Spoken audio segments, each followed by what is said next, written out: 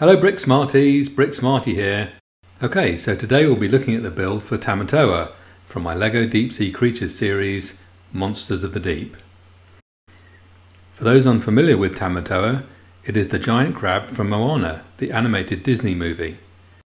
This model, along with all the MOCs from my Monsters of the Deep series, is a 2 to 1 alternate of the 31088 set, which means it takes two 31088 sets to build.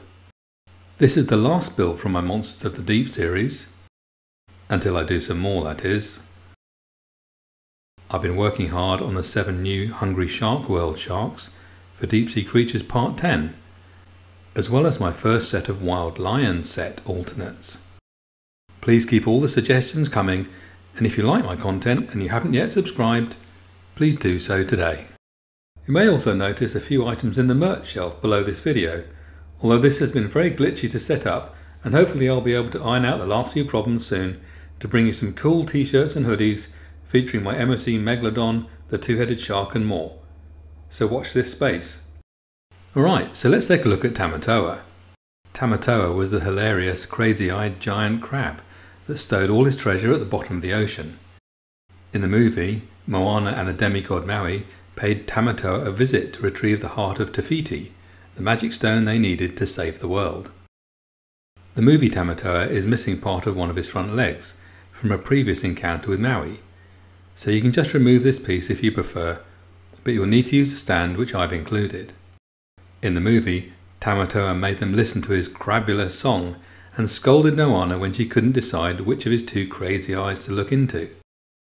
We had a lot of fun posing this model and creating funny expressions by moving his eyes from side to side. Okay, so let's make a start with a Tamatoa build.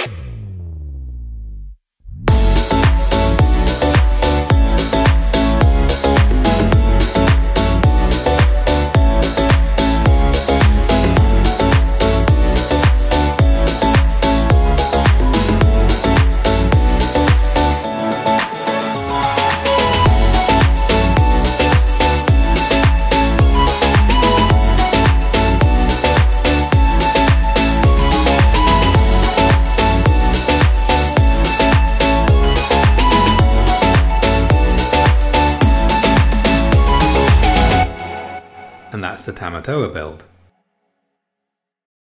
If you'd rather work from instructions that look like this, you can buy them at rebrickable.com. Just follow the link in the description below.